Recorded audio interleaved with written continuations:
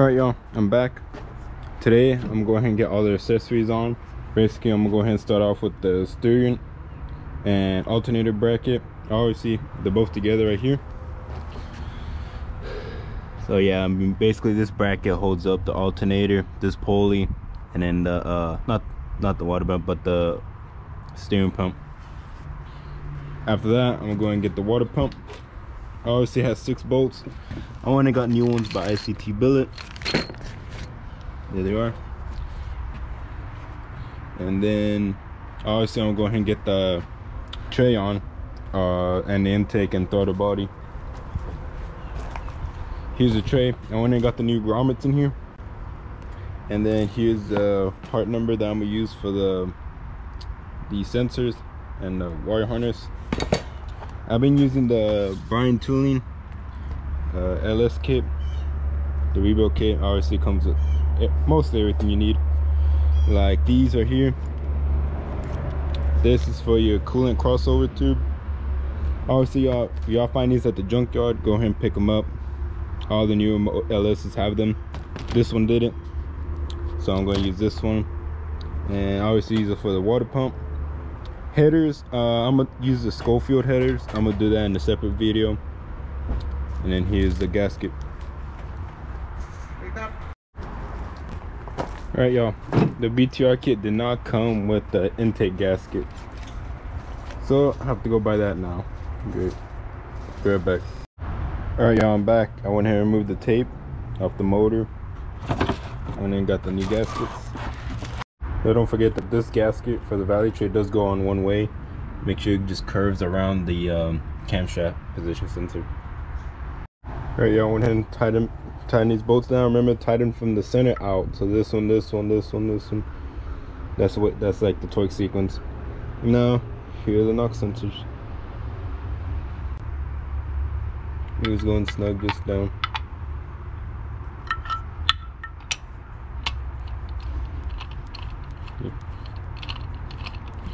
not that hard. All right y'all for these all you got to do is just snug them down. That's all you have to do. Don't over tighten them because they will break. And here's a new wiring harness. It, these the knock sensor on the wiring harness they they're by summit. That's where i got them and let's see. It just goes like that. Obviously the furthest one forward this hangs out in the back in any wire harness whether you buy like a good one uh, it should be connections always back here.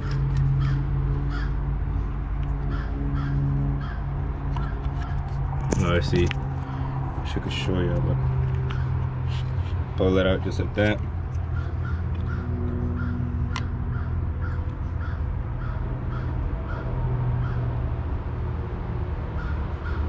It is. Pull it out the reason why they're built like this so whenever you try to take them off you squeeze here and then pull out.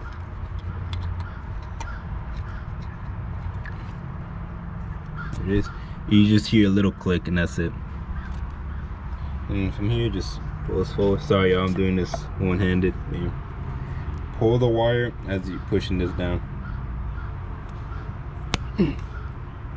Yeah so you just pull this push it down. Once it has snug you can let go of the wire. There it is. You should hear air coming out. There it is. It's hanging back there. Alright so y'all if you have an OBS this is where you're you put the adapter right here for the oil you want to go and get that done right now. I'm just doing a process for the accessories. So you have to get the adapter put it in there and then you use your original OBS sensor. Here it is. Oil pressure. This is why you never want to cut nothing. I have it marked here oil pressure.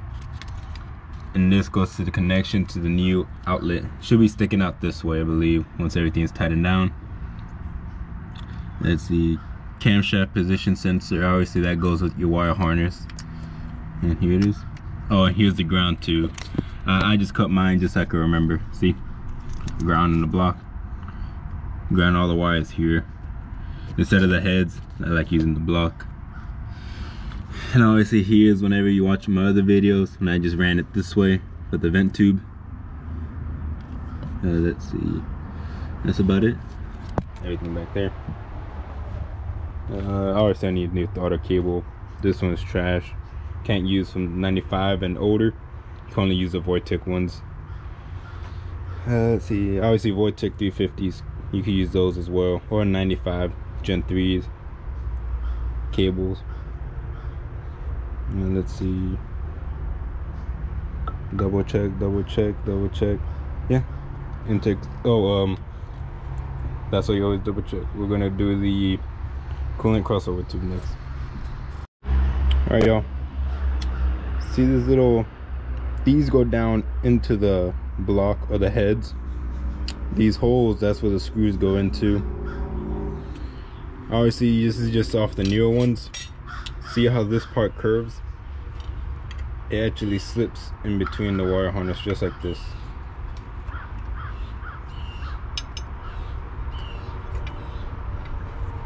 believe that's how it should be. Just so your wire harness can just be right above it. See? Because if this is this tube is sitting on top of the wire harness it's no bueno because it'll be pressured on.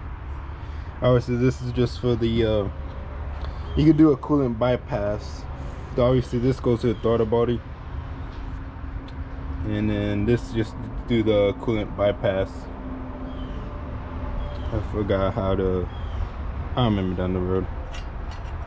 So yeah make sure you always see these little dowels I guess Oh, where that extra air goes to see snugs in snugs in. There it is. Oh and yeah and don't forget like I almost did the screws and these little gaskets. Let's see what can I set them? It's a work truck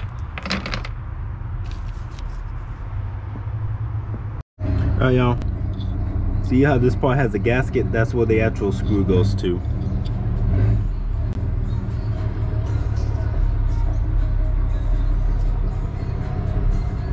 Hey, I went in and put the, the, the gaskets on the manifold.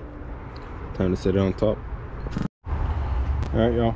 Intake's on. You just want to make sure the gasket doesn't fall off. This side fell off, but I went and got it on last second. But yeah, it is looking good. Hang on. There it is. I'm out of the way. so yeah, over here I got the evap delete ICT billet. Um, I was gonna use that one over there, but that one had the EGR, so it was nasty and it was all gunked up. So yeah, and then obviously I was gonna use that motor, but that motor's trashed. Now let's go ahead and see what else we got. Um, I'm going to get the power steam pump assembly, the bracket with the alternator. I'm going to get that on. Alright y'all, uh, I noticed this one's remanufactured and it has a uh, plug on it. And this one just has a bracket and it looks our original. Yeah, it looks original. So I'm about to ask the guys on the Facebook group see which one I should use and why. I'm still waiting on the guys on Facebook for the OBS Salt Facebook group. Anyways, um, went and got this on. Obviously, I know for the OBS is you're gonna need the whenever you do the um, upper radiator hose, you're gonna have to use the swap one, whatever vehicle you had. So basically, 99 and up, GM vehicle upper radiator hose. For the bottom one, for the lower, you just use the OBS one. You just cut it, make it fit and obviously heater hoses here they are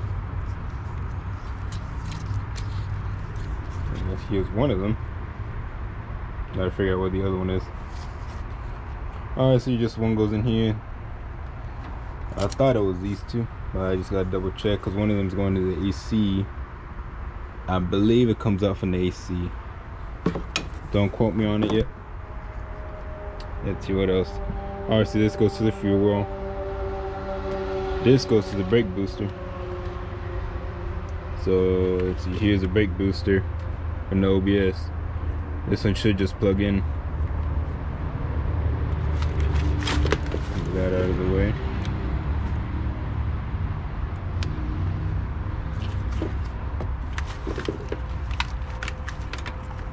There we go. I think I'm gonna leave it there for now. I just took a hold of the wire harness. But yeah, this goes with the brake booster. It's another one. This one in the rear actually goes with this one here. You just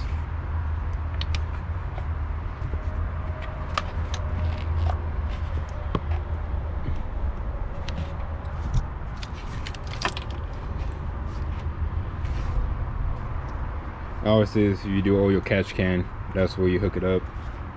And do I have to go? Yeah. Let's go and get the how you say fuel going. Obviously you have to take these off too. You won't be needing them. You'll have adapters to go in the back of the fuel rail.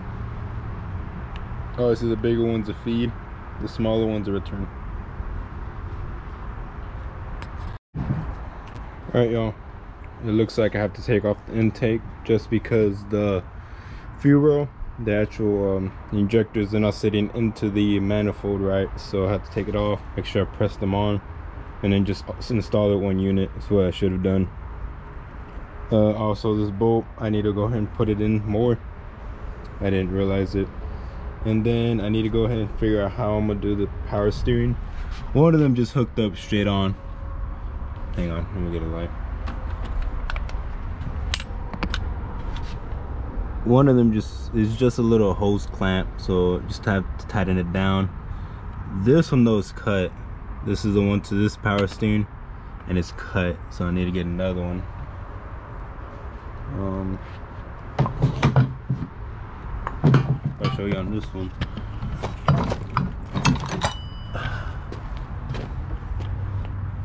this one that has just a hose clamp is just use the original OBS. This is the one I need, but look at this one. This one's also cut.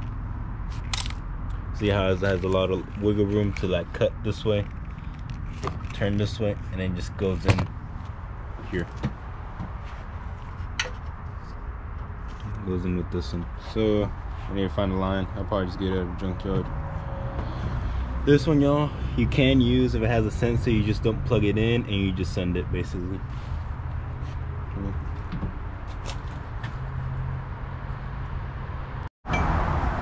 Oh yeah, today I got my friend Moses helping me out with the AC bracket. Shout out to, let's see, who are these guys? Um, Pro Performance. They have a great video on how to do this and that's who we're using today to help us out oh yeah it is just go ahead and follow the video y'all and it's pretty straightforward you're going to use the spacers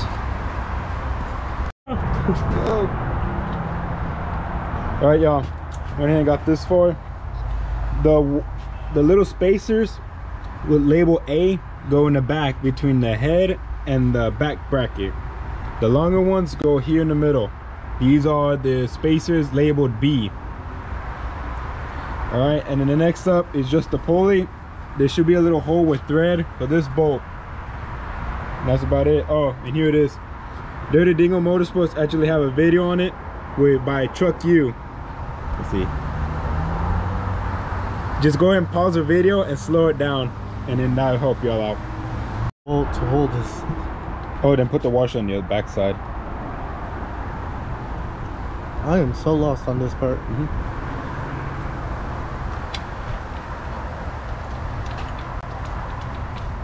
Alright, so there's another hole with uh, thread. Let's go ahead and pull it through. Once it's tightened down, put in the washer. And don't drop don't the drop the bolt. Alright, there's the bolt. Now we just tighten it up from this side.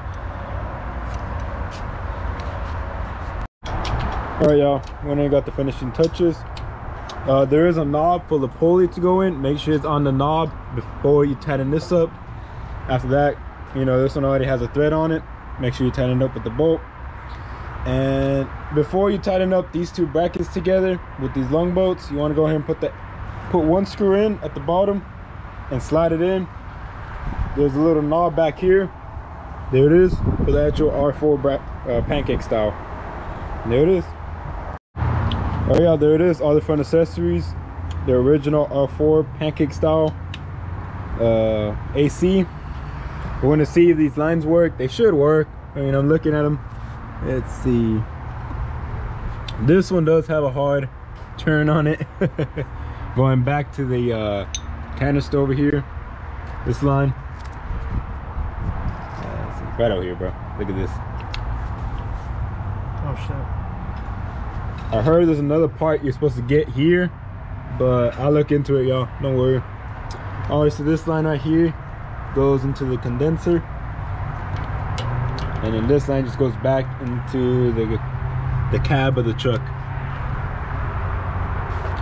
Let's see, what else? I know we're trying to figure out what's next. and I'm guessing what's left to do is do the headers, but we have to clean them and put in the exhaust studs. Uh, let's see, what else? Oh, also I have the hole back there between the engine and the bell housing.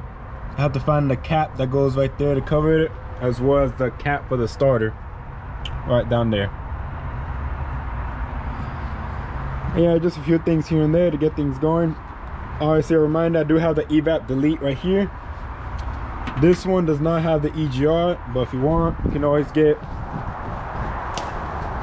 uh, here's the evap and the EGR delete.